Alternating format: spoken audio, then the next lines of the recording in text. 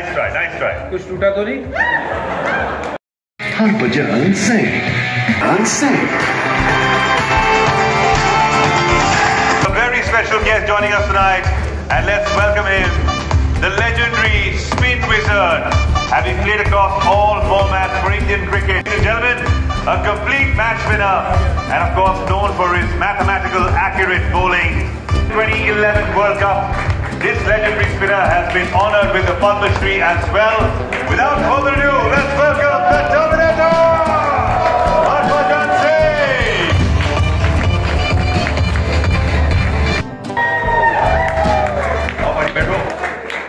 He's in the house. He's there. Yes, you can take out your cameras on your phones, click away. He's here with us. He's here. He's going to be here. He's going to chat with us, and of course, we're going to we're going to talk to him about his life. And uh, you guys can also maybe ask a few questions at the end. Baji, thank you for being out here. Thank you for joining us. Looking as fit as always. Baji, क्या कर रहे हो यार? जवान हुए जा रहे हो आप तो मतलब रिवर्स हो गया आपका एंगल ही कोशिश में कोशिश में आइए पधारिए बैठिए हमारे साथ thank you good evening everyone कई सारे इनके नए प्रोजेक्ट्स देखे we seen some wonderful new things coming out new constructions और ये बिलीव करते हैं कि अगर घर हो तो समुंदर के पास हो व्यू जो हो समुंदर की हो बड़े हाई सीलिंग्स हो आपके घर में मतलब सब तरीके की लग्जरी हो तो जो नॉर्थ से जो लोग आते हैं जो यहाँ कर यहाँ के भी लोग हैं when they look at the water and they see their homes they feel really good about them. I'm sure you've seen some of them. क्या क्या लगा आपको देख के overall when you when you've been seeing their projects? सबसे पहले तो शुक्रिया मुझे यहाँ बुलाने के लिए सूरज भाई और आप सब आपके जितने घर के लोग और ये परिवार ही होता है जो आपके साथ जुड़ा हुआ है तो आप सबको भी very good evening to all of you घर कैसा होना चाहिए? देखिए घर वैसा होना चाहिए जिसमें सुकून हो। और वो समंदर के पास हो पहाड़ों में हो या फिर कहीं भी हो उसमें सुकून होना चाहिए।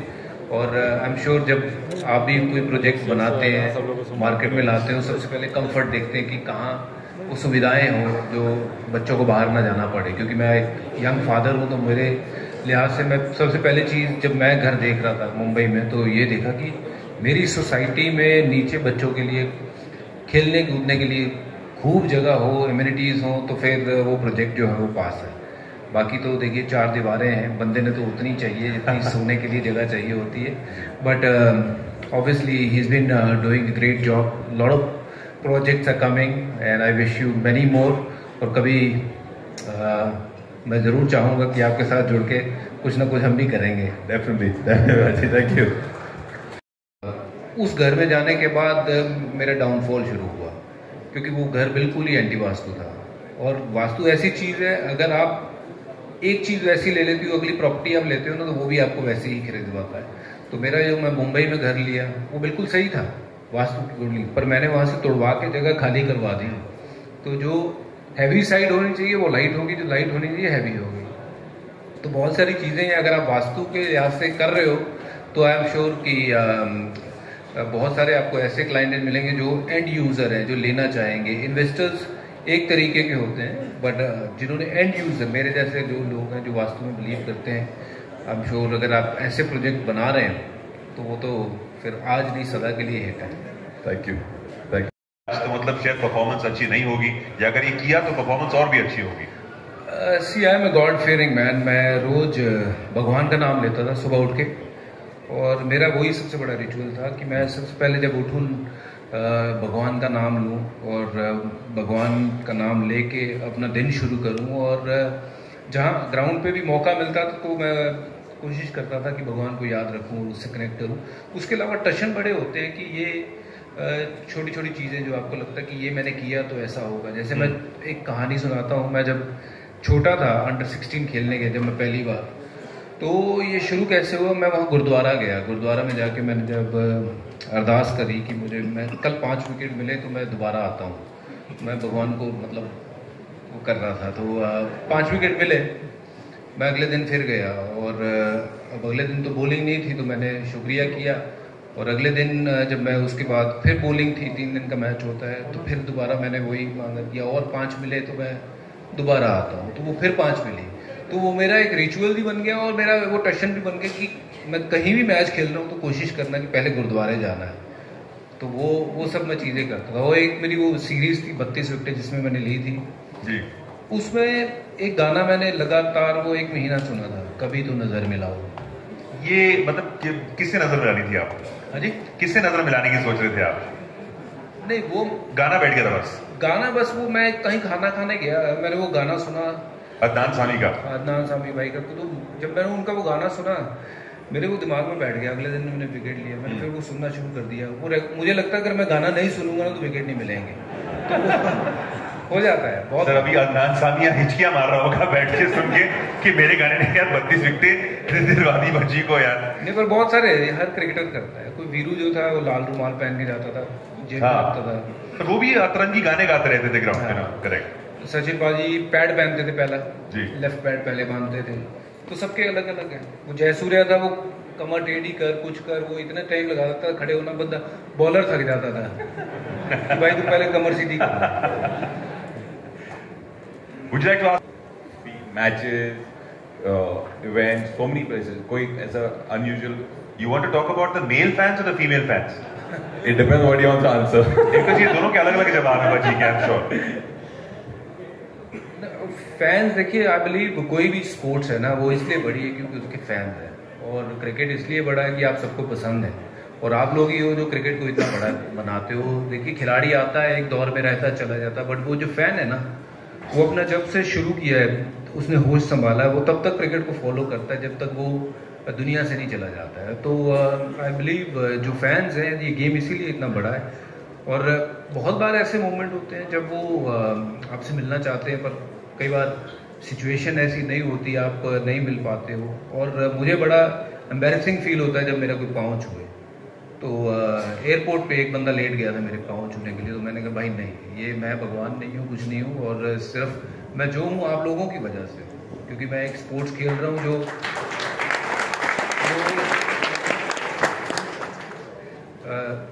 थैंक यू जो स्पोर्ट्स इतनी फ़ेमस है। मैं उस स्पोर्ट्स को खेल रहा हूँ, ये उसका एक कर्म वो है कि आशीर्वाद कि मैं ये स्पोर्ट्स में हूँ। हो सकता मैं अगर कोई और स्पोर्ट्स में होता तो शायद उतनी जिसकी फ़ैन फॉलोइंग नहीं है तो वो चीज़ नहीं होती। बट मेरे लिए बड़ी एम्बेसिंग सिचुएशन हो जाती जब कोई पाँव छूने के लिए कहता क्योंकि मैं उस लायक नहीं हूँ। पाँव सिर्फ़ माँ बाप के छूने चाहिए मुझे लगता है।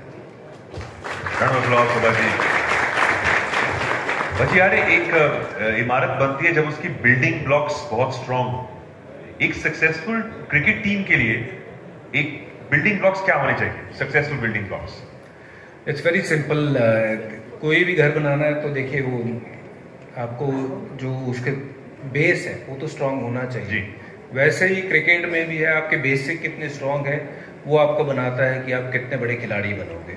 सचिन तेंदुलकर क्यों इतने बड़े खिलाड़ी बने? क्योंकि बेसिक इतने स्ट्रांग है कि कभी कोई गलती होती भी है तो वहीं पकड़ के वो उसको रेक्टिफाई करके दोबारा अपनी गेम पे आ जाते हैं। और आज के मैच की भी अगर कोई भी बात करें तो वो उसमें भी आपकी फाउंडेशन जो पहले दस ओवर है आप कैसा खेलते हो? वो नींव वो सेट करता है कि आप मैच कैसा खेलते हो। जी। बहुत बार होता है कि आपकी नींव कच्ची रह जाती है उसके कारण आपके मैच का रिज़ल्ट जो है उतना बढ़िया नहीं रहता। आप वर्ल्ड कप का फाइनल देख लीजिए। नींव बड़ी स्ट्रांग रखी थी बट बीच में कहीं थोड़ी सी कमी रह गई वो हम ऊपर चढ़ते चढ़ते नीचे गिर गए। बट मेरे लिहाज से तो देखिए टीम में वही है कि टीम इकट्ठी तभी होती है जब आप एक दूसरे की परफॉर्मेंस को एंजॉय करते हैं। आप में यहाँ बहुत सारे सेल्स के लोग होंगे आप कहते होंगे मैं बेच दूँ ये बेच दे ये बेच दे। बट अकेले हम कम अचीव कर सकते हैं। Together we can achieve a lot so I think it's all about team कैसी बॉन्डिंग होती है वो दर्शाता है कि आपकी टीम क्या अचीव करेगी। सो so, 2011 की जो टीम वर्ल्ड कप जीती थी उसकी बॉन्डिंग बहुत अच्छी थी। जी। It was like a family. We sit together, we eat together, we have fun together, we win together, we lose together. It's okay. या और losing is also winning it teach so I believe कि जब तक आप हारते नहीं हो आपको बर्दाश्त करने की वो नहीं आती। तो हारना भी ज़रूरी है। जी। अगर आप सेल नहीं हो रही है कोई बात नहीं। आज नहीं हो रही कल होगी। बट उससे डिसहार्टेड नहीं होना है लगे रहे बस आप you were uh, we were talking about हम हम uh, बात कर रहे थे आपस में भी figuring out कि यार what do you think would be the about the captains you want to ask him what his uh, experience there And whether it's uh, I started playing under uh, Mohammad Azruddin, then I played till uh, Virat became captain. तो every captain wanted to win and अगर कप्तान को जीतना है तो उसकी team अच्छी होनी चाहिए अकेला कप्तान नहीं जीत सकता है। तो uh, अगर आपकी बिल्डिंग आप बनाने जा रहे हो आप मेन आदमी हो अगर आपकी टीम कच्ची है ना तो आप जीत नहीं सकते। तो uh, अपना अपना काम हम सही करें तो कप्तान का नाम बनता है। तो uh, कोशिश ये थी कि जिस भी कप्तान के अंडर खेलो ये कप्तान एक चेहरा है वो चेंज हो जाएगा। बट असल मुद्दा है भारत के लिए खेल रहे हैं। और भारत का नाम ऊँचा करना है वो हमारा पहला कर्तव्य है। वहाँ वहाँ कप्तान कोई भी हो वो मैटर नहीं करता। What matter is our flag flag we play for uh, for that and um, that was the most uh, important thing for us. True champion that Bhaji is. Bhaji फिर ऐसे मस्ती वाले सवाल आपसे पूछेंगे। टेस्ट मैच पे five wicket लेना या सेंचुरी मारना? चूज़ कीजिए उन दोनों में से। सेंचुरी मारने में मज़ा बड़ा आया था यार। दो मारी थी back to back I wish की थोड़ा बैटिंग को सीरियस लिया होता। तो कुछ और मार लेता सेंचुरी पाँच विकेट लेने में मेहनत मशक्कत बहुत लगती थी। ऐसा नहीं कि सेंचुरी मारने में नहीं लगी। बट वो उसकी सेटिस्फाइंग मोमेंट जो थी ना वो बड़ी प्यारी थी। क्योंकि बहुत ताने सह लिए थे यार मैंने। रोज वीरेंद्र सहवाग कहता था यार अब तो उसने भी बना दिया तू कब बनाएगा? फिर कभी मेरे को कोई और ताना मारता था यार वो डैनियल विटोरी ने भी बना दिया तू कब बनाएगा? फिर एक दिन सकलैन मुश्ताक ने भी सौ बना दिया। फिर तो उन्होंने मुझे ऐसा लताड़ा कहता यार शर्म कर ले। बना तो ले यार यार इन्होंने बना लिया तू कब बनाएगा? क्योंकि मैं पचास साठ बनाता था उसके बाद मैं आउट हो जाता था। बट जब दो सेंचुरीज बनी उसमें मज़ा बड़ा आया क्योंकि as a bowler we are always under the pump receiving end but when you are giving them the taste of their own medicine ना तो मज़ा आता है। तो मज़ा आया। तो स्पिनर को मार के मज़ा आता है कि फास्ट बॉलर को मार के कोई मज़ा आता आए। है कोई भी आ जाए। कोई आए। बस बॉल Your- बैट पे लगनी चाहिए करेक्ट मारे और ग्राउंड के बाहर अच्छा आपका ग्रेटेस्ट आपके पर्सनल आपका ग्रेटेस्ट स्पोर्टिंग मोमेंट क्या रहा है आपकी लाइफ में। क्रिकेट में क्रिकेट में 2011 का वर्ल्ड कप जीतना was probably the best moment of my career और my life cricketing moment sporting moment अगर बात करें क्योंकि वो एक सपना लेके बड़े हो रहे थे सभी जब छोटे थे कि कपिल पाजी को वो देखते थे वो तस्वीर वर्ल्ड कप की ट्रॉफी के साथ और किसी दिन वही सपना लेके बड़े हो रहे थे कि काश मेरे ज़िंदगी में ऐसा दिन आएगा। छः वर्ल्ड कप खेले सचिन तेंदुलकर और उसके बाद एक ट्रॉफी उनके हाथ में आई। तो कितना मुश्किल होता है वर्ल्ड कप जीतना ये मतलब आसान काम नहीं है। बहुत प्रेशर होता है बहुत अलग तरीके का माहौल होता है। मतलब जो प्रेशर की दस बाल्टियाँ आपके सर पे डाल दो ना तो वो भी कम होगी। क्योंकि हर भारतीय चाहता है कि अपनी टीम जीत जाए। तो जहाँ जाओ, वहाँ प्रेशर तो वो, जब वो सपना साकार हुआ तो आई बिलीव कि कुछ अचीव किया ज़िंदगी में। तो वो मेरा सपना नहीं था। आई एम श्योर जितने आप बैठे हो, कहीं ना कहीं वो दिल में फीलिंग आती है, यार ये कप हमारा है और ये ये हमारे लड़के हैं। और मैं अपने आप को बहुत खुशकिस्मत समझता हूँ कि मैं एक ऐसी स्पोर्ट्स खेल रहा हूँ जहाँ आप लोग मुझे नहीं जानते हो जो टीवी पे लोग देख रहे हैं आप मुझे सिर्फ़ जानते हो कि ये लड़का अपना है यार ये जीत जाए। कौन किसके लिए दुआ करता है यार?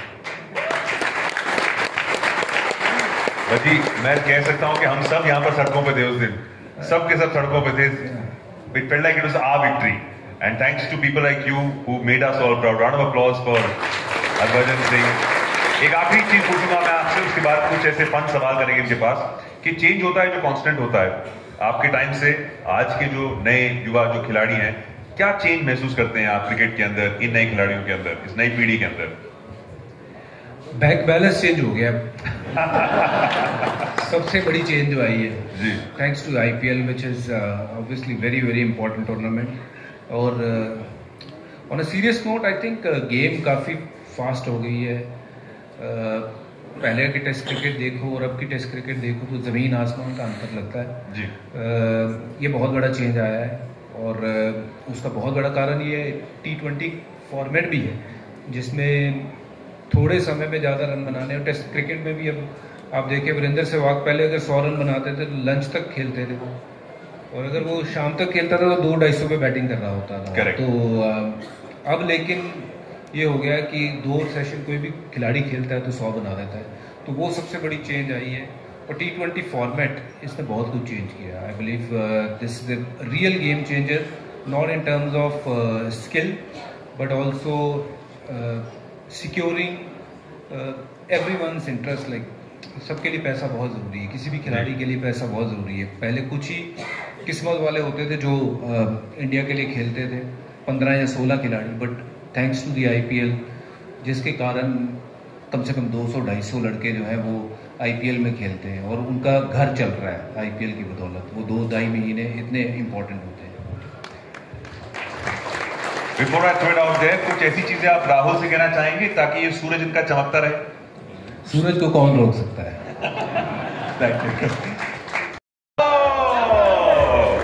नाइस ट्राई नाइस ट्राई कुछ टूटा तो नहीं?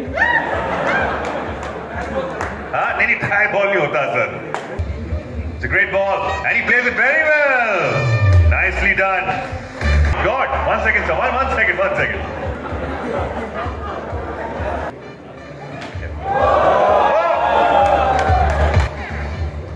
And it's a one. Somebody catches it. Oh, well played. Well played. I am a disco dancer.